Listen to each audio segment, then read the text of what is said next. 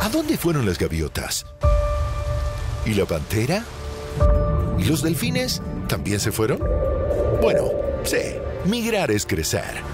Todos se van. Nos vamos nosotros también, porque los cambios son buenos. Los mejores contenidos de Nat Geo Wild migran a National Geographic. Migrar está en nuestra naturaleza. Nos vemos en National Geographic.